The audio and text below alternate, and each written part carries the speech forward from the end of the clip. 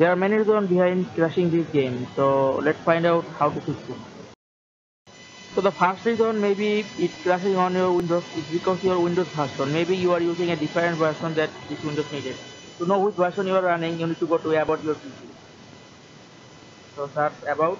Here you can see about your PC. Go there and see which version you are running. If you are not running on 1903 this version or other version if you are running on other version older version then this game will not work. It will crash. Because this loot box crash is only made for this uh, version only. So you need this version must if you want to run this game. So to fix this and update to this version all you need to go to check for windows update. So here windows update setting go there and click check for update. It will automatically install your windows to the latest version. So after updating your windows then close it and open the game again.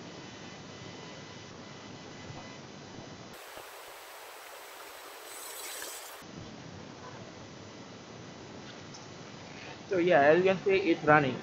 It's because previous time my my game was crashed because I was using different version. Now I'm using the latest version 903 and it's running. It's only work on 1903 version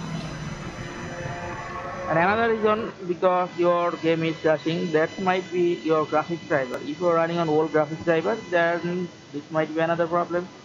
And another solution that may be because of your virtual C++ and runtime. You can download AIO runtime and install it to fix the problem. So you can just google it AIO runtime.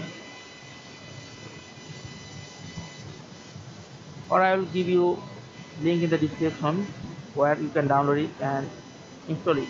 Uh, another problem that might making this game not opening or crashing then this might be the Windows firewall. Uh, you need to block the game from Windows firewall. So what you need to do is to hard Windows firewall.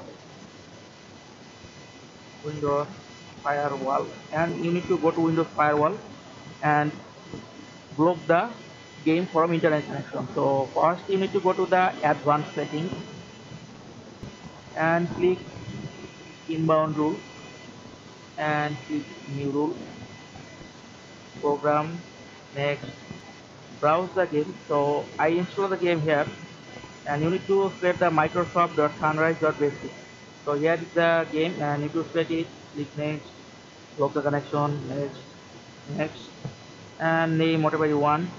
And click it now another thing you need to do is go to click outbound rule new rule program next browse electric game and click next go to connection next next name whatever you want next.